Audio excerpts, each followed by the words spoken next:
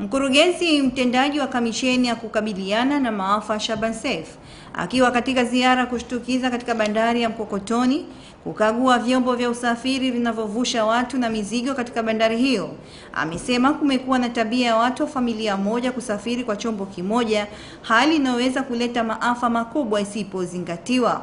Aidha, mkurugenzi huyo amewataka miliki na manahoza vyombo hivyo kufuata sheria za usajili wa vyombo na kuacha tabia kupakia abiria kwa vyombo ambavyo leseni yake inaonyesha imeruhusiwa kupakia mizigo tu.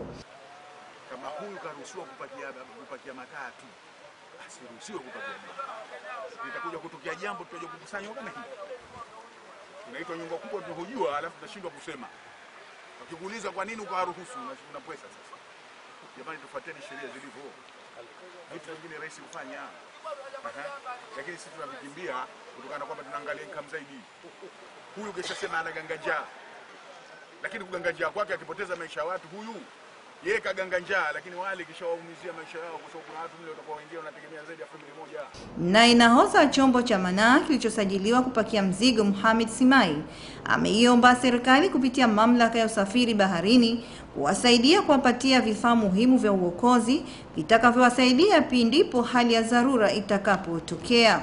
Itusaidie ba, itusaidie baadhi ya vifaa kama hivi vya kuzimia moto na life jacket na huduma nyingine ambazo wanazijua sasa tulikuwa hatuzijui, ili kwa usalama wetu na raia tunawachukua. Kwa upande wa wananchi kutoka kisiwa cha Tumbatu, wameiomba mamlaka ya usafiri baharini kuwashauri wanahoza kutoa chombo zaidi ya kimoja wakati wa kuvuka ili kuepusha msongamano wa watu wengi kupanda ndani ya chombo kimoja. Kwa basi ningeomba hivi haya madau au, au manahoza mngali mngaliwashauri kukaa na madau zaidi ya moja ili usiingie sote kwa pamoja kwenye chombo kimoja. Kwa hiyo kinatakiwa kitumike kwa wakati pale pale ndani ya chombo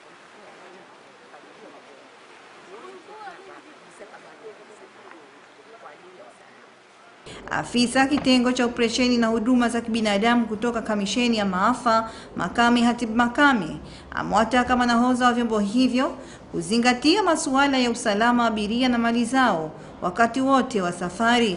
Nikiripoti ni Shadia Mohamed, ZBC.